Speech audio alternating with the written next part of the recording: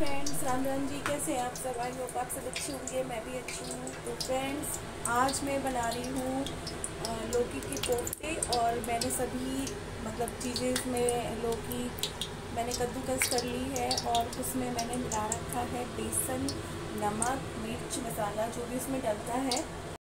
तो देखो, मैंने सभी इसमें मिला रखा है। मैंने इसमें ये लौकी पहले कद्दूकस की है, लौकी, उसके बाद फिर मैंने इसमें बेसन डाला है। थोड़ी हल्दी डाली है, मिर्च डाली है और पिसा हुआ मैंने ज़ीरा भी डाला हुआ है और मिर्ची, पिसी हुई मिर्च, धनिया पाउडर और नमक और थोड़ा सा अमचूर पाउडर। अब इसको मिक्स करके मैं इसके कोफ्ते बनाऊँगी। और मैंने इसका सारा बैटर तैयार कर लिया है कोफ्ते का और मैंने ये सब हाथ से ही मिक्स किया है क्योंकि जब तक खाने की चीज़ में हाथ टच ना लगे तो मज़ा ही नहीं आता खाने में और बनाने में। अब मैं इसके छोटे छोटे बॉल्स ऐसे बना के कोफ्ते बनाऊँगी। ऐसे। एक एक करके ऐसे बनाऊँगी।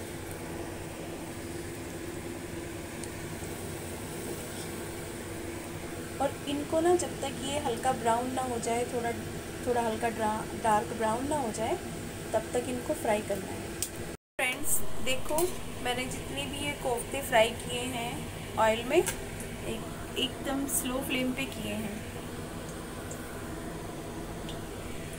ठीक है? ये देखिए स्लो फ्लेम पे ही आपको इनको फ्राई करना है। नहीं तो ये अंदर से कच्चे रह जाएँगे। और टेस्टी भी नहीं लगेंगे।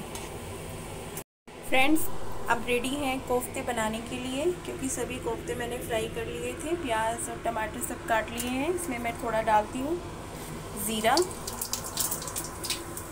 और थोड़ा हींग। इसके बाद प्याज, मैंने इसमें प्याज डाल दिए। प्याज को हम हल्का ब्राउन होने तक फ्राई करेंगे ये देखो थोड़ा थोड़ा कलर आ गया है इस पर ब्राउन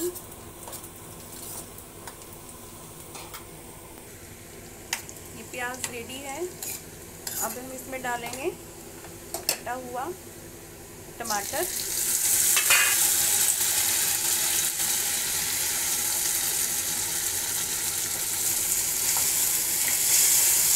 अच्छे से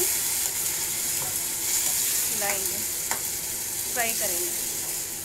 तक कि टमाटर थोड़ा मेल्ट ना हो जाए। भुनना जाए अच्छे से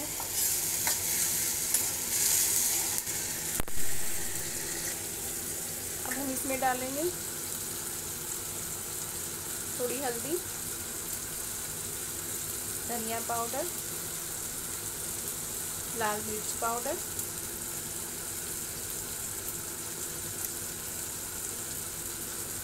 कोफ्ते मसाला,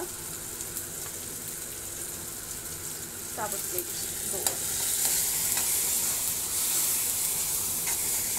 तो अच्छे से फ्राई करेंगे।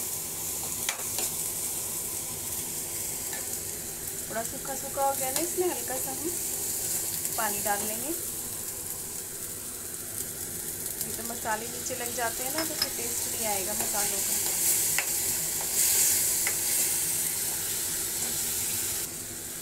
अब इसमें डालेंगे स्वाद अनुसार नमक। अब देखिए, कोफ्ते का मसाला तैयार है भूनकर। बड़ी अच्छी खुशबू आ रही है। ये देखिए। अब इसमें मैं पानी डालूँगी।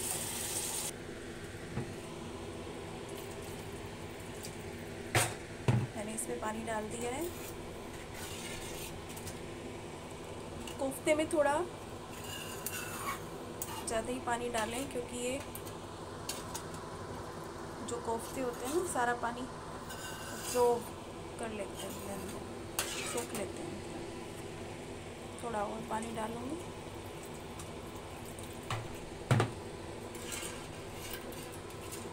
ये देखिए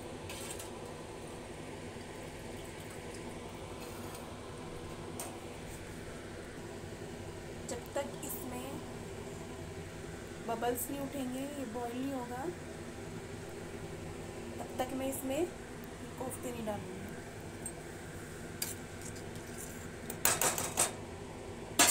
फ्रेंड्स मैंने डाल दिए हैं इसमें कोफ्ते, क्योंकि जो इसकी करी थी, वो बॉईल हो गई थी। इसमें बॉल्स बनने लगे थे। ये देखो बबल्स उठ रहे हैं। इसके बाद फिर मैंने इसमें वो कोफ्ते डाल दिए हैं। अब कुछ टाइम के लिए इसे मैं पकाऊँगी।